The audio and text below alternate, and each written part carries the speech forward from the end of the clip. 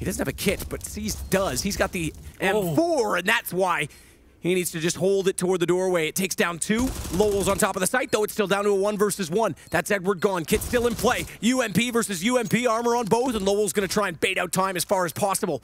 He's on it as well. loWel. Oh, he jumped. I think he's masked it with his own noise, but he gets got there it. just in time. No, No, he didn't. Navi did get it.